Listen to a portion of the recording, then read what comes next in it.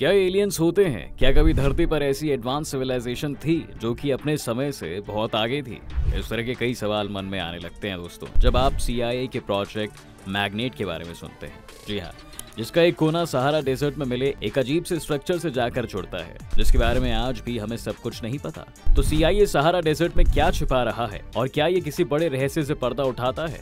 आइए जानने की कोशिश करते हैं आज के इस वीडियो में बस अंत तक बने रहिएगा हमारे साथ। लेकिन वीडियो शुरू होने से पहले, अगर आप चैनल पर नए हैं या आपने अभी तक चैनल को सब्सक्राइब नहीं किया है तो चैनल को सब्सक्राइब करना और बेल आइकॉन दबाना बिल्कुल ना भूलें। दोस्तों, जिस स्ट्रक्चर की हम बात कर रहे हैं, उसे रिचार्ड स्ट्रक्चर कहते हैं। और सहारा डेजर्ट में ये एक 40 किलोमीटर के डायमीटर वाला बड़ा सा निशान है। इसके बारे में अजीब सी बात यह है कि ये रिंग्स की फॉर्म में है।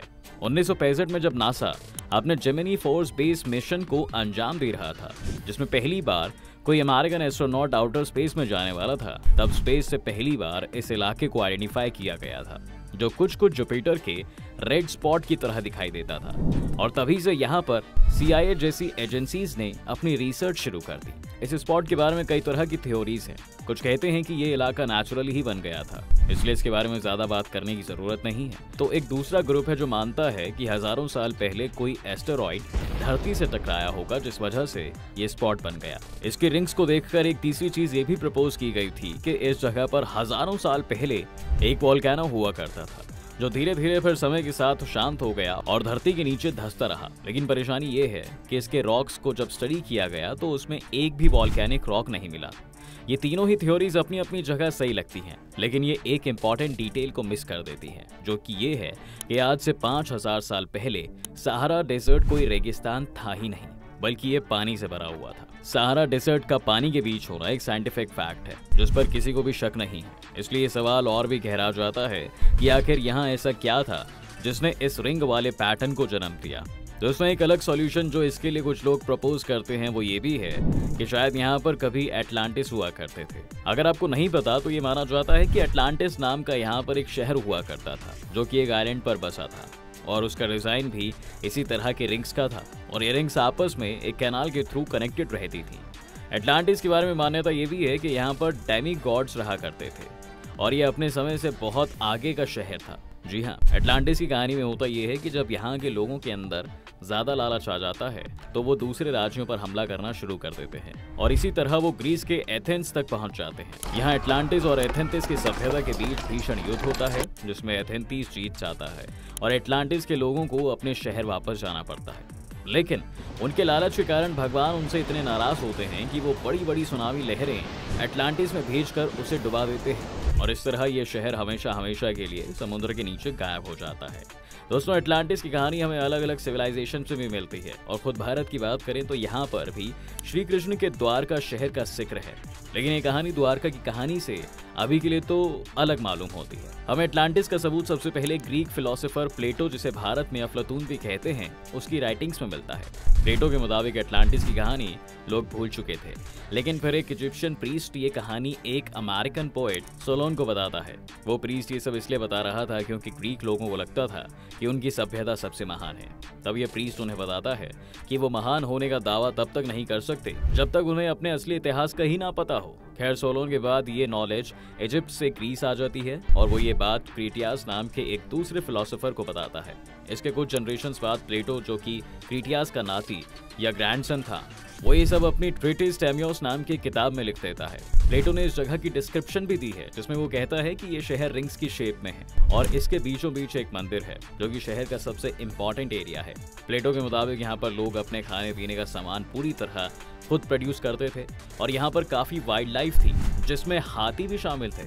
जी हाँ वो लिखते हैं कि अपने पीक पर इस सिविलाइजेशन ने इजिप्ट और इटली तक के इलाके में अपना राज जमा लिया था। प्लेटो के मुताबिक ये शहर ग्यारह हज़ार साल पहले एग्जिस्ट करता था, जो कि आज की करंट साइंस के हिसाब से काफ़ी फिट बैठता है, क्योंकि इस समय इतनी बड़ी लहरें धरती पर आती थीं जो शहरों को तबाह कर सकती थी।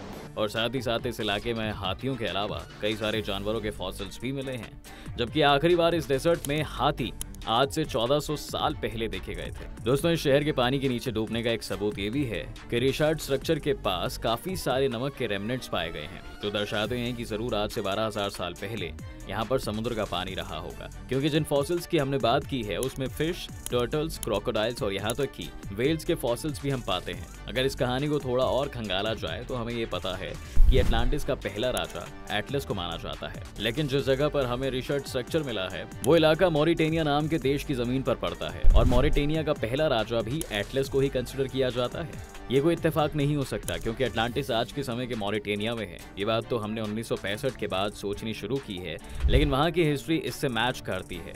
इसके साथ साथ प्लेटो ने ये क्लेम किया था कि अटलांटिस में काफ़ी मात्रा में लोहा, सोना और तांबा पाया जाता है। और अगर हम मॉरिटेनिया के एक्सपोर्ट्स को देखेंगे तो हमें पता चलेगा कि ये तीनों ही मेटल्स हमें वहाँ भारी मात्रा में मिलते हैं। और इसके साथ साथ साइंटिस्ट इस बात से भी अग्री करते हैं कि कई साल पहले एक बड़ा फ्लड अमेरिका में आया था। वैसे अटलांटिस के होने के और भी कई सबूत हैं दोस्तों, जैसे कि ग्रीक फिलोसोफर हेरोडोटस ने 430 बीसी में एक मैप बनाया था।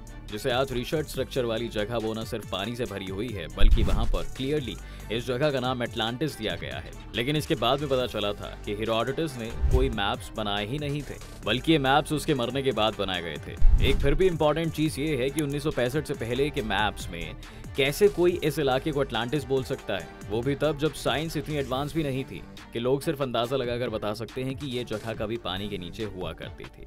पोम्पोनियस मेला जो कि 2000 साल पहले एक रोमन जियोग्राफिकर हुआ करता था। जी हाँ उसने भी अपने मैप्स में एटलांटिस को जगह दी है और एक शहर की तरह उसे दर्शाया है। और ये जगह भी सहारा डेजर्ट के वेस्टर्न पार्ट में ही है। वहीं आज ये रिसर्च स्ट्रक्चर खड़ा है। तो ये बात तो तय है दोस्तों कि इस जगह के बारे में पहले के लोगों को मालूम था और यहाँ पर कोई ना कोई रहता ज़रूर था। किसी के यहाँ मौजूद होने का सबूत हमें इस बात से भी पता चलता है कि खुदाई के वक्त यहाँ पर एक बार सारे तीर, भाले और शिप्स के टुकड़े भी मिलते हैं। इजिप्ट के पिरामिड्स को लेकर भी एक बहुत बड़ी मिस्ट्री है दोस्तों। जो ये है कि उन्हें आखिर इंसानों ने कैसे बनाया होगा। जब एक ही पत्थर का वज़न कई हज़ार टन है और इन सभी पत्थरों को 100 से 200 मील दूर से लाना पड़ता था, क्योंकि जिस जगह पर पिरामिड्स हैं, वहाँ पर ये मटेरियल अवेलेबल नहीं थे। कुछ लोग कहते हैं ये पिरामिड्स तब बनाए गए थे जब अटलांटिस के लोगों ने इजिप्ट पर कब्जा कर लिया था और उसे अपनी कॉलोनी बना लिया था। इसी समय इन भव्य इमारतों का निर्माण किया गया, जिसे आज तक वैज्ञानिक समझने की कोशिश कर रहे हैं। ये पूरी तरह मुमकिन है कि अटलांटिस की कहानी शायद आगे जाकर कुछ और ही ना निकले। लेकिन इस समय जितने सबूत उनके पक्ष में है दोस्तों, उससे तो हमें यही लगता है कि अगर यहाँ पर थोड़ी और रिसर्च की जाए तो कुछ बड़ा निकल सकता है। रिसर्च स्ट्रक्चर पर रिसर्च करने के लिए आपका अटलांटिस पर विश्वास करना भी ज़रूरी है, क्योंकि साइंस विश्वास पर नहीं चल सकती। वहाँ पर की गई रिसर्च भी पब्लिकली सबके लिए अवेलेबल होनी चाहिए। सीआईए ने जो दो साल पहले इस इलाके पर रिपोर्ट रिलीज़ की थी, उसके कई हिस्सों को सेंसर कर दिया गया था। जिस वजह से यहाँ सचमुच क्या हुआ था, कोई नहीं जानता। तो आपको क्या लगता है कि क्या अटलांटिस जैसे शहर असल में हो सकता है? या आपको लगता है कि इसके पीछे कोई और ही बात है? आपकी जो भी राय है, हमें कमेंट सेक्शन में लिखकर ज़रूर बताएँ। उम्मीद है कि आपको आज के इस वीडियो में काफ़ी कुछ नया मिला होगा। अगर आपको ये वीडियो पसंद आया है तो वीडियो को लाइक करें। और अगर आप इस चैनल पर नए हैं तो जाने से पहले चैनल को सब्सक्राइब करना भी ना भूलें।